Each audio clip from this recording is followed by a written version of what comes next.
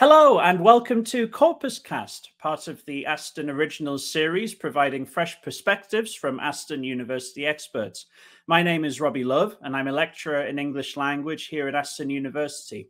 I'm a corpus linguist, meaning that I study linguistic patterns, trends, and variations using large samples of language data. So, on behalf of the Aston Corpus Linguistics Research Group, welcome to the show. Corpus Cast is the show all about corpus linguistics and what it can do for society. In this series, I speak with top researchers in the field to find out more about how corpus linguistics can be applied to a diverse range of areas. In this episode of Corpus Cast, our topic is how corpus linguistics contributes to research in the area of investigating and centering marginalized voices. My guest today is Dr. Mark Nartey, lecturer in English language and linguistics at the University of the West of England and member of the Bristol Centre for Linguistics. Mark works across several disciplines, including corpus linguistics, of course, to investigate how people deploy language in specific spatio-temporal and socio-cultural contexts to achieve various aims, including identity construction and negotiation, self-promotion and othering, as well as argumentation, resistance, and delegitimation. Mark is a truly international scholar, having studied and worked in Ghana, Norway, and Hong Kong before now finding himself working here in the UK. So I'm very pleased to welcome to this episode of Corpus Cast our special guest, Dr. Mark Nartey. Hello, Mark. Great to see you. Hello, Robbie. Great to see you too. Thanks for the invitation thank you so much for coming on to uh, Corpus Cast. It's such a pleasure to get the chance to to speak with you, and it's the first time we've we've really had the chance to to talk about uh, your work and uh, and corpus linguistics. So um, thank you so much for coming on. Um, I wanted to start by asking you quite a big question, really. Um, and I know that corpus linguistics is is not you know uh, uh, fully sort of everything you do with your research, but it certainly informs a lot of your work. Um, what does corpus linguistics uh, mean to you? Well, generally, I conceptualize corpus linguistics as a rigorous methodology and a powerful tool for studying authentic language use. So, to me, it is a robust analytic framework that helps us to arrive at more accurate, more verifiable, and more reliable findings.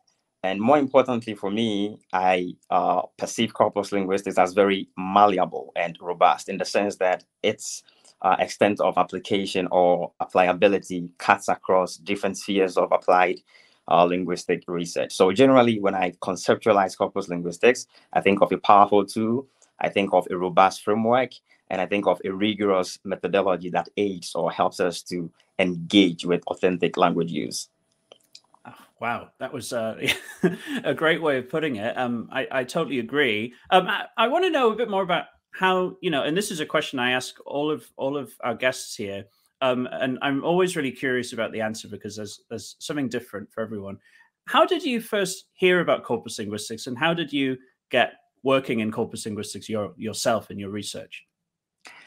I think I got into corpus linguistics sometime in 2015 when I was coming to the end of my MPhil research at the Norwegian University of Science and Technology. So towards the end of that program, I started brainstorming PhD topics because I'd always uh, had in mind PhD research and working in academia, etc., etc. Mm-hmm. So I started uh, brainstorming topics, and as part of my conceptualization process, I spoke with one of my undergraduate lecturers. He's called Richmond Sadick Ngula. Richmond UCC, University of Cape Coast in Ghana, was a PhD candidate at Lancaster University. Indeed, he was supervised by Tony McEnery. So he mentioned the idea of corpus linguistics and more specifically, corpus assisted discourse studies to me. So based on the preliminary information he gave me, I did my own reading. And the first paper I read was uh, by Baker et al. on the useful synergy between corpus linguistics and critical discourse analysis. So that paper, together with other papers in corpus assisted discourse studies, then shaped my orientation. And uh, I used that information to formulate my PhD proposal and subsequently conducted my uh, PhD in uh, corpus assisted discourse study. So essentially, I'm going to attribute it to my 2015 encounter with Richmond Sadick Ngula, who was a PhD candidate as at Lancaster.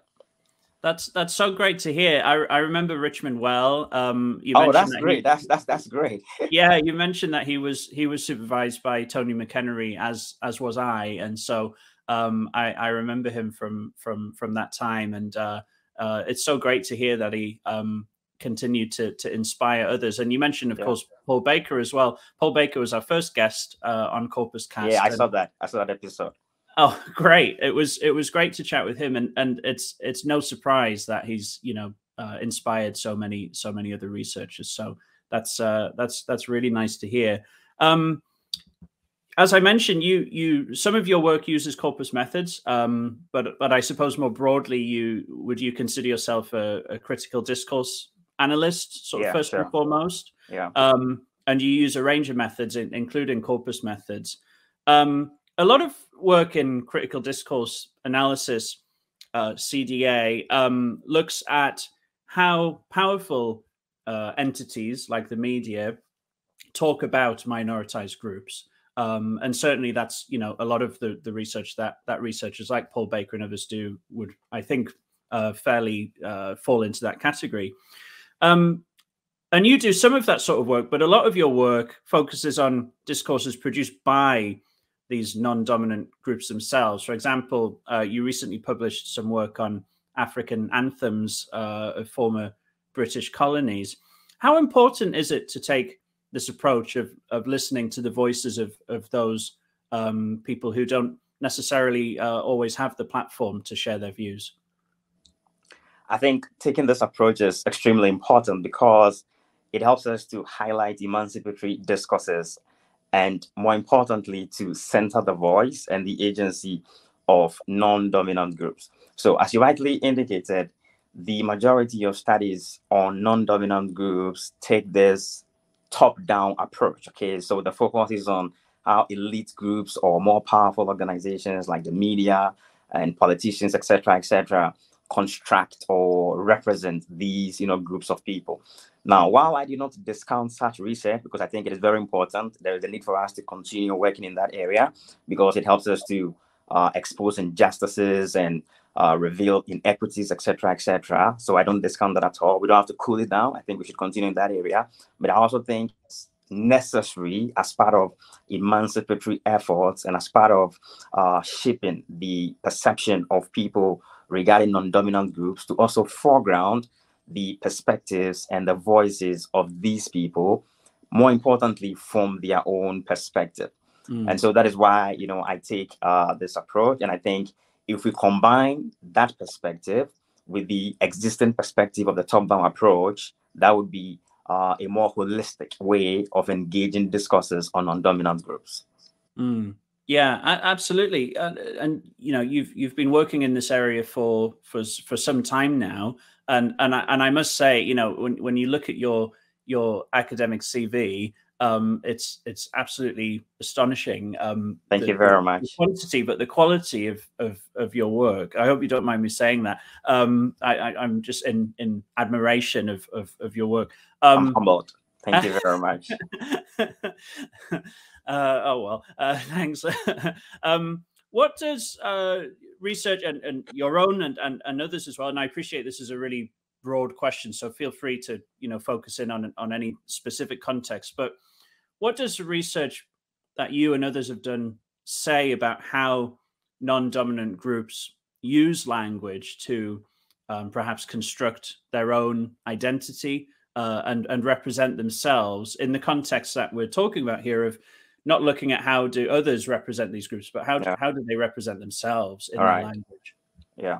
So here I want to share with you uh, a recent special uh, volume or special uh, issue that I edited for critical discourse studies on emancipatory discourses. So if you don't mind, I'll highlight three of the ways by which these non-dominant groups use language to construct their own uh, identity based on the special issue that I did for uh, critical discourse study. So in this study, um, I had a number of people researching feminist groups, uh, other ethnic minorities, uh, blacks, etc., etc., in regions such as Latin America, uh, the Arab Levant, and Africa. And the summary of you know that study was that one, non-dominant groups construct a positive identity for themselves by actively resisting discriminatory and hegemonic discourses directed against them. And here I want to make a distinction between actively resisting discriminatory discourses and exposing discriminatory discourses. So whereas the existing studies, you know, from the top down, you know, approach reveals most of these uh, discriminatory discourses, there isn't always the case of active resistance. It's as though those studies assume or uh, make this presupposition that once you've revealed, that is also a direct way of resisting.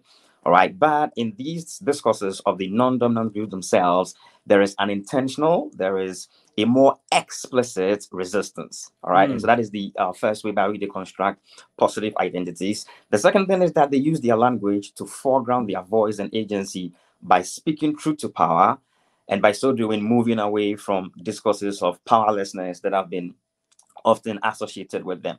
So more often than not, the discourse surrounding these groups of people border on repression and powerlessness mm. and their weaknesses, you know, etc., etc. which, you know, as I said, it, it's fine. But when they speak about themselves, they also emphasize their agency, they emphasize uh, their voice, they emphasize their power. And I think that helps them to reconstruct their experiences in more positive ways. And then the third thing that uh, came out from that special issue is that they use their language as part of identity construction to engage in solidarity formation for group empowerment. So mm-hmm. the idea of um, group loyalty, you know, group cohesion, solidarity, alliance, etc., etc., mobilization. They use their language to, to do that kind of thing, and then based on mm. that, uh, they, they move they move into more practical, you know, actions.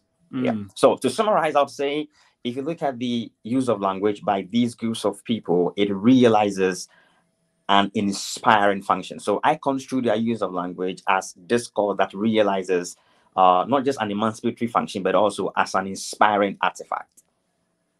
Wow. Yeah, that sounds that sounds fascinating. And and I think really, as you said before, you know, can complement complement uh, from from a different angle a lot of a lot of the work that is done about how how you know dominant uh, groups speak about speak about these groups of people their their own you know constructions of of self i think is yeah. fascinating um and and i think this ties in nicely to to one of the ways that you describe your own research which is in seeking uh, for the the centering of of marginalized voices and and i really like what you just said there about this is almost kind of it's research to to learn more, of course, but it's also research to to uh, give attention and almost to campaign on behalf or for yeah.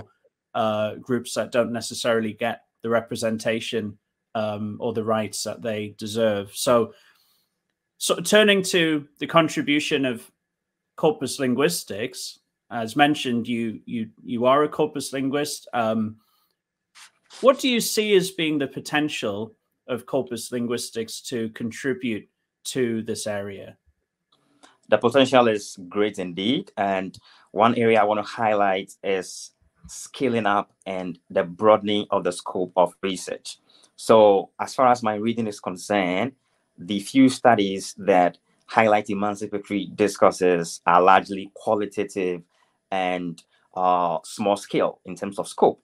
Now, in light of big data research, especially when engaging policymakers and non-academic partners, I think corpus linguistic research can make a significant contribution to mm-hmm. discourses that center and uh, foreground the voices of non-dominant groups in the area of scaling up uh, this, this, this, these studies. Now, the reason why I think that is important uh, is because the practical recommendations and the interventions that these researchers make, I feel, can be strengthened and be enhanced and be solidified from the point of view of corpus linguistic research. Mm. Because, you know, practically speaking, anytime you engage uh, non-academic partners or, you know, collaborators, etc., etc., they, they, they, are big on generalization and they are interested in the extent of, you mm. know, what one is talking about. So even though we know it does not always apply for practical reasons, sometimes there is a need to be able to generalize the things that you are saying, and there's a need to uh, establish that the scope of what you are saying is is bigger, you know, than than what it seems. And so, in that to that extent, I think corpus linguistic research has the potential to significantly contribute to work on emancipatory discourses. More so when at the current time, it seems corpus linguistic research hasn't quite focused on that. That's interesting. So, uh, I mean, uh, is there any work in this area already from from a corpus perspective, or is this really, you know, a, a new frontier potentially? So, from my reading, the corpus linguistic work on this area focuses more on protest discourses on social mm-hmm. media as an instance of emancipatory discourses. Mm-hmm. But I consider protest discourses as slightly different from the kind of emancipatory discourses that I'm talking about. So you're likely to find a lot of studies on maybe the Hong Kong protest or you know protests in the Middle East, you know, etc., etc., which lend credence to emancipatory discourses. But I feel that is a bit different mm-hmm. from um, ethnic minorities and you know LGBTQ people and you know um, you know racial minorities, you know, etc., etc. So from the point of view of corpus linguistics, yeah, the work that I have seen is in the area of protest discourse. But as far as uh, other non-dominant groups are concerned, currently I do not think there is a strong commitment from corpus linguists in that area. That that's that's a really um, I think it's important that that you you say this and and i think you know that that was that that's a, a, question really is whether whether you think there is enough of a commitment in corpus linguistics um towards what you might call the the scholarship of non-dominant discourses and and your argument is that is that there there hasn't been so far um yeah. what do you think what do you think needs to change do you think this is a, a, a sort of an attitudinal issue or or a practical issue or or yeah. or the fact mm. that you know by by virtue or by their nature dominant groups are more potentially more visible there is more data and yeah. so it's it's easy you know a lot of researchers who study newspaper discourse for example yeah i would argue one of the main reasons and they maybe don't acknowledge this all the time um, one of the main reasons they do so is because it's one of the easiest kinds of data to gather and there's lots of it and so it's attractive to corpus yeah. linguists. Yeah. But I think in in discourse studies, perhaps we're a little bit over fixated with newspaper language. I, I, I get why. You know, I, it's not a criticism of. You know, I, I do. You know, I teach newspaper discourse at Aston. Uh, I've you know, I lots of people do, and and I I understand its value. But I think sometimes um, CADS in general, uh, corpus assisted discourse studies, is almost kind of the subfield of corpus linguistics that looks at newspaper discourse mostly yeah. and, uh, and, bits of other things too. Maybe that's a bit of a strong claim, but I I, I want to know your thoughts on this because I think yeah, it's, it's really I, I, I, I, agree with you know the point you just you know adduced, which is more of the practical reason. But I think there are two main reasons. The practical, you know, I'll consider that to be the second reason. But the first reason that comes to my mind is uh, the tradition of corpus assisted discourse studies in itself. Mm-hmm. So if you look at the history of you know corpus assisted discourse studies, it started with research on um, non-dominant groups from the point of view of dominant groups, or from the point yeah. of view you know of of the elite, which also goes back to the orientation behind CDA research in general. All right, because the orientation of CDA research is to look at the discourses of the elite you know, mm-hmm. in relation to yeah. uh, the commoners. All right. So that orientation is already there. There is like a school of thought already. So it seems to be the natural thing to do to examine the media, to examine politicians, to examine, uh, you know, more elitist, you know, discourses. So I feel consciously or unconsciously, maybe more unconsciously, people naturally uh, work with that kind of orientation. So that that is the first, you know, reason that I, I yeah. think I can adduce for for the uh-huh. current situation. Uh-huh. And the second is what you talked about in terms of uh, from a more practical or a more pragmatic you know, perspective. These non-dominant groups, because they don't really have the voice in society, they don't talk a lot.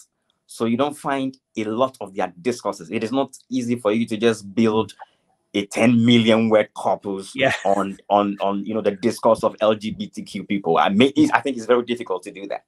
All right. So in terms of um, for sometimes for good reason, these people choose to be silent. All right. So they don't talk a mm-hmm. lot. Maybe you don't find them too much on social media. Of course, all this is changing with the progress that we are all making in the world. But generally, you don't find the voices of those people, you know, out there. So it takes a lot more work to be able to uh, get data from this group of people from their own perspective. Mm. So as you said, the media looks like an easier, not easy, but an easier way of getting data. So most people maybe you know go with that kind of tangent. So I, I consider this as two main reasons why there isn't currently a strong commitment from corpus uh, yeah. linguists as far as uh, research on non-dominant groups are concerned.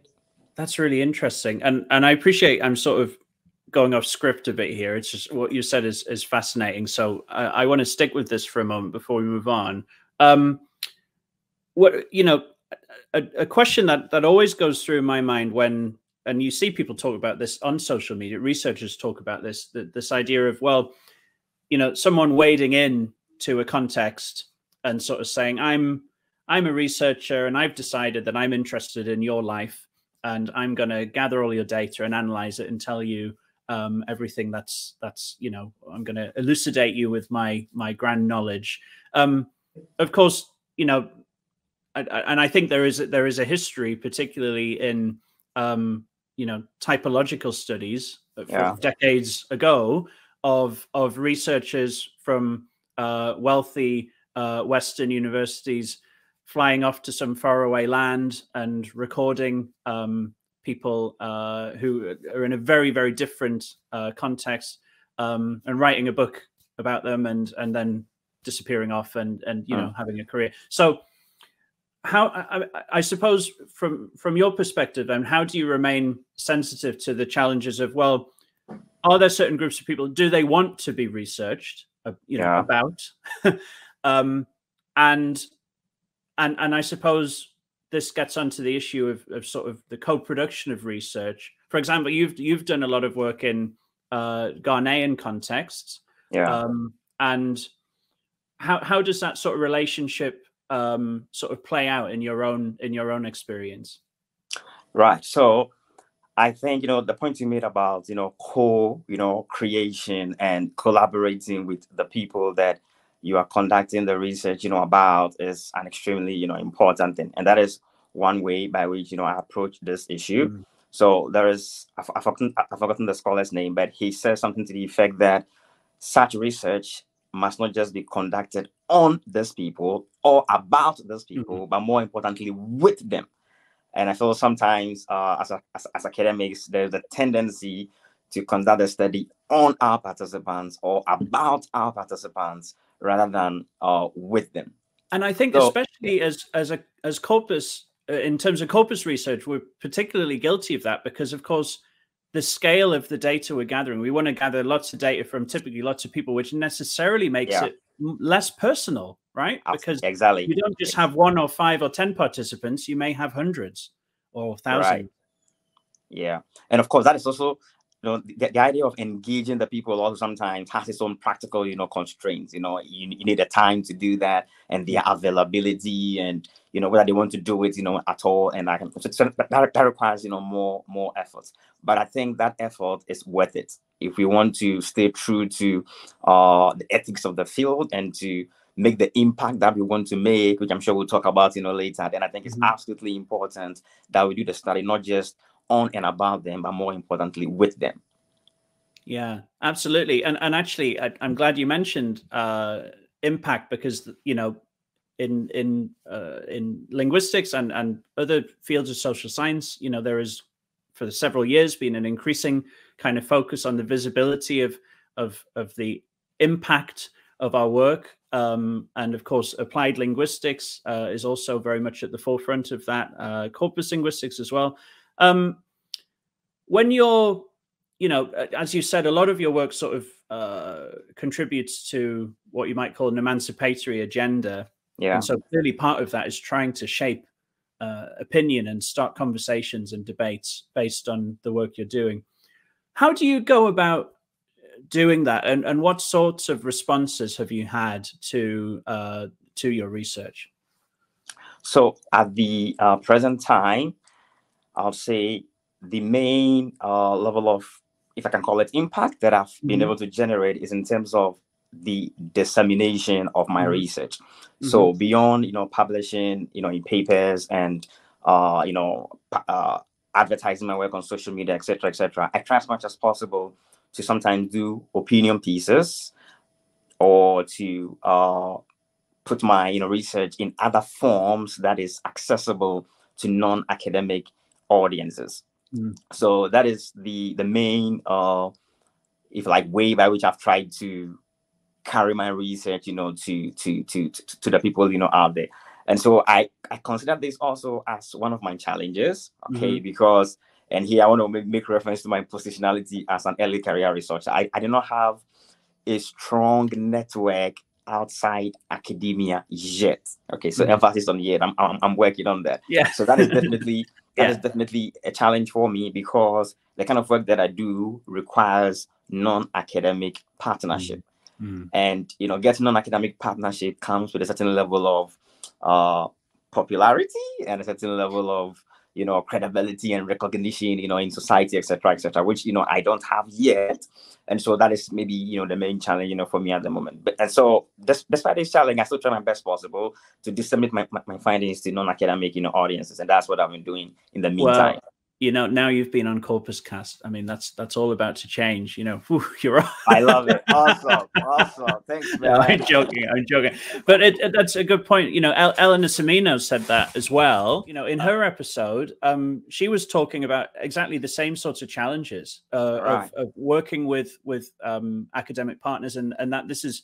She talked about how this was the the, the basis of um, non-academic partners, I should say. She talked about how this you know is a cumulative process that has taken much of her career thus far to mm. develop mm. these these networks and and these uh, reliable partners um, and so I, I totally appreciate what you're saying and and as as a fellow early career researcher i i also feel uh, the same way um, that's that's really interesting though um, what has been another mm-hmm. i was going to say another challenge that you know i personally you know perceive outside of the uh, non-academic, you know, partnership mm-hmm. is this idea that sometimes, for very practical reasons, it is difficult to adopt what I call an activist scholar posture. Mm-hmm. All right, and that is important because when you're working with non-dominant groups, the idea is not just to do the research; the idea is to effect change. And mm-hmm. sometimes to effect the change, you need to be an activist or some, some form of advocacy. You need to in, embed advocacy, you know, in your work. But there are times when, you know, for me as a researcher, for one reason or the other, I find it maybe not uh, feasible in certain situations to be able to do that kind of advocacy work. And so sometimes, you know, I choose to be silent for, for good reason. And so that's also a very, very practical, you know, challenge as well, mm-hmm. where you can have the findings, but for one reason or the other, based on your reading of the situation and for depending on where you are maybe in the in, in the world it becomes more challenging for you to advocate for certain things or to be at the forefront of, of, of certain things. So that, that's also another challenge for me as an individual. That's really interesting. How, how do you manage that? I, I almost see kind of two competing pressures here.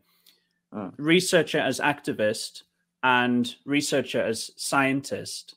Um, and what I mean by that is, you know, you mentioned uh, uh, Tony McEnery earlier. Um, he's he's recently been uh, talking about ideas of uh, the, the scientific basis of, of corpus linguistics and rationality right. and and and and issues around that. And on the one hand, you know, in terms of corpus linguistics, at least, uh, I think corpus linguists often feel a pressure to sort of say, "Oh, well, this is this is real science. You know, this is really objective, and we have all these you mentioned before, you know, rigorous and, and replicable yeah. methods and, and things like that.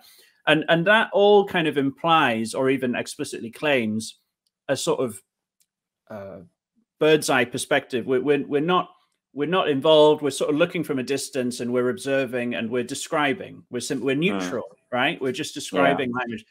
But you're also talking here about taking taking a stance, right? Yeah, taking an ideological exactly. and political position which of course is is really very much in the tradition of critical discourse analysis yeah. analysts, as, as you said. But how do those two sort of live with each other comfortably? Do they live with each other comfortably, or yeah. or do you see do you see them as competing, or or do you think that they they work together well? I actually think they work together well. So I see the two not as an either or. I see mm-hmm. it as a both end.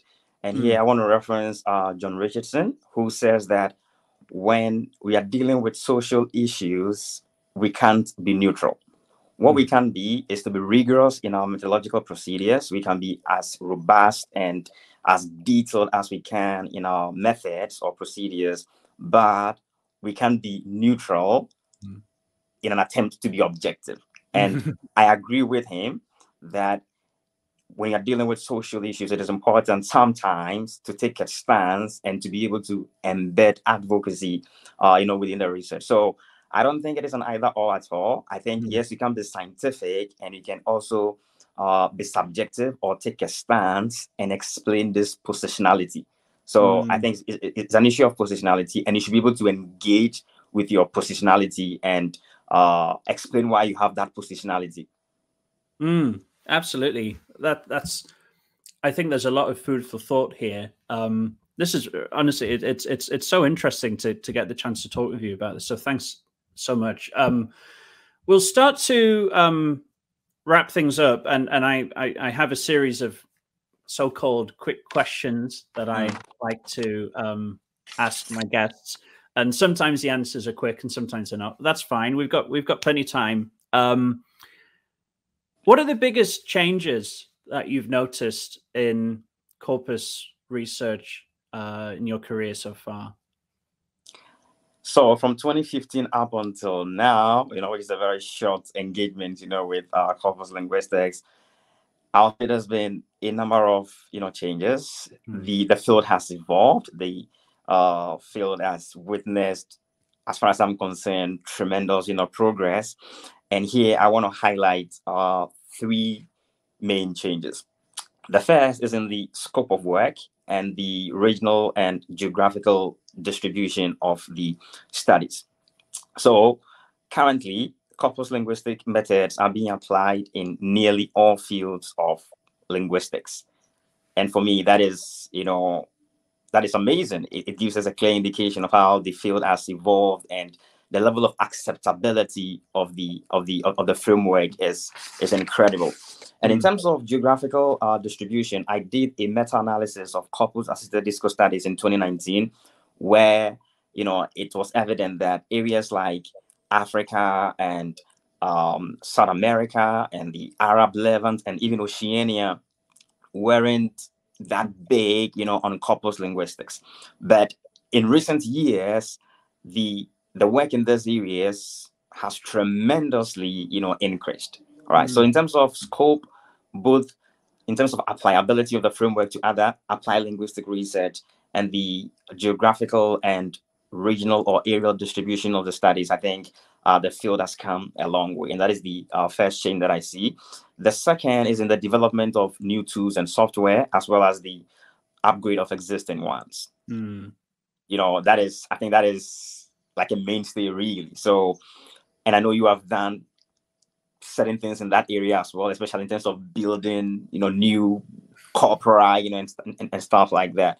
So I, I, think the field has not been static at all. It's been very mm-hmm. dynamic and it's been uh, onward, forward, and upward. And the final change I want to talk about relates to the podcast you are doing now. And that borders on impact. I think in recent years, there's been an intentional and a systematic attempt to foreground impact in corpus linguistic research. Mm. And this podcast, you know, without a doubt, is, is, is one of them. And I want to commend you and your team for this innovative, you know, idea. So in the last few years, there's been a lot of emphasis on impact. And you know, I've seen a lot of YouTube videos and mm. workshops mm. on corpus linguistics and impact. And I've been in conferences where you know it has been the the main focus. I've been in panels and workshops and things like mm-hmm. that. So I think there is an intentional effort, you know, at making impact, which I think is a very good thing because we don't just want to do the research. More mm. important, we want to carry that research into society and hopefully make the world a better place. So these are the three main uh, changes that I'll say I've uh, observed in the last uh, few years that have been part of corpus linguistics. Well, uh, thank you. I, I appreciate uh, what you what you said there about um, about this about this show. I, I, see this as as one sort of small way of of contributing to what what I agree is is an increasing um, visibility of corpus linguistics in in general. Um, and and I you know I, I I agree that that you know we we've been working for a similar sort of period of time and and yes, it's only a few years, but even in that short space of time, I agree right. that, that, there has been a, a, big change even in that short space of time. Um, and that's really interesting compared to what those who've been doing this for decades, you know, say about the changes that they've noticed, which is a lot more to do with the scale, as you can imagine, um, right. of the the size of the data sets and the power and sophistication right. of the tools.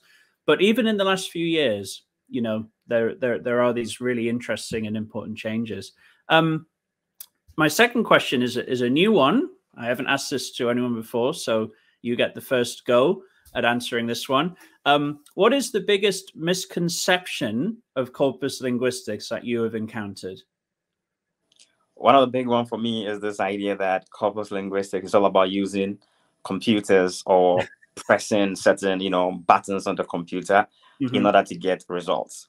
Now, this misconception is linked to the idea that corpus linguistics is easy or mm-hmm. it is easier in comparison with other analytic uh, approaches in linguistics. So people have the misconception mm-hmm. that, for instance, it is possible to become a corpus linguistic expert in one workshop or in one mm. summer school.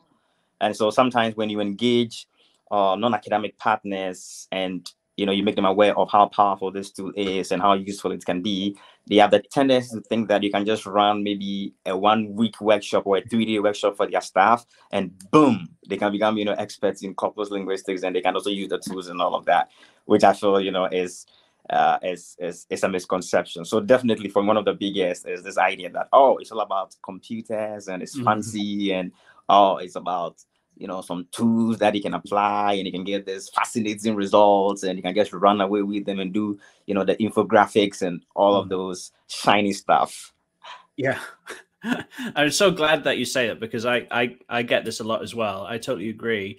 People think you just press a few buttons and look at some numbers and go oh that's interesting. Yeah. this has gone up and this has gone down. But ultimately it is still linguistics. And so you, absolutely. first and foremost you know it's very easy for people to say oh i'm a corpus linguist as if it's completely different. But you know, first and foremost, we're linguists. we we study yeah. language, and it's yeah. one of many methods that that people may choose to use. So, I, that's reassuring to hear you say that as well.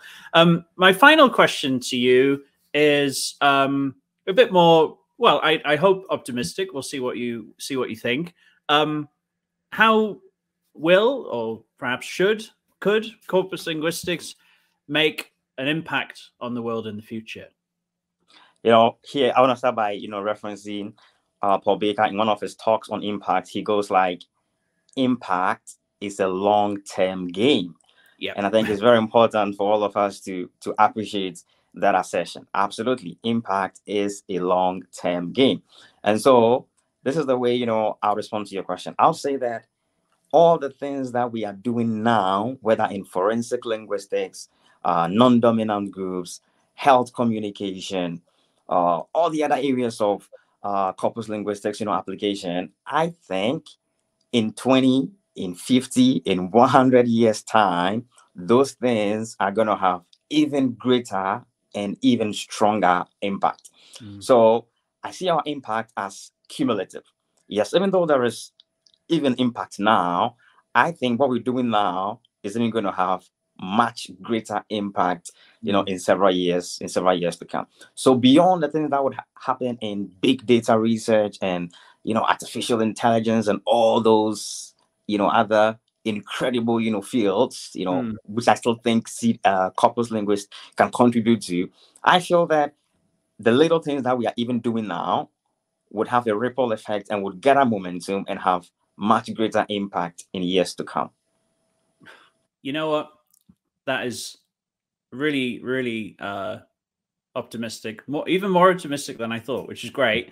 Yeah, I, I hope to join you on this journey. You know, maybe in 30 years' time, um, yeah. when maybe we're starting to slow down a little bit, we we come Yeah. we can come back and do this again and see what what happened. You know, Sure. um, we're in it for the long term. So yeah, Definitely. that's great. That's great. Well, um, Mark, again, thank you so much for for for coming on. Um, I've really really enjoyed this conversation. Um, I really appreciate your time. Uh, I will start to bring things to uh, to a close here um, and address the the camera, our viewers. If you're watching us on YouTube, of course, um, and if you're not watching but listening, whether that's on Spotify, Google Podcast, Podcast Addict, or Podchaser, thank you very much for joining us on Corpus Cast. Please do let us know your thoughts about this and other episodes in the series using the hashtag CorpusCast. And make sure to check out the Aston Corpus Linguistics Research Group on Twitter at Aston Corpus. CorpusCast uh, is an Aston Originals podcast written and hosted by yours truly, Robbie Love, and produced by Sam Cook. Uh, thank you, Mark Nartey, once again for joining us. Thank you for watching uh, or listening, and I hope to see you again on a future episode of Corpus Cast. Thank you. Goodbye. Thank you, Robbie, for the uh, invite. I'm truly grateful.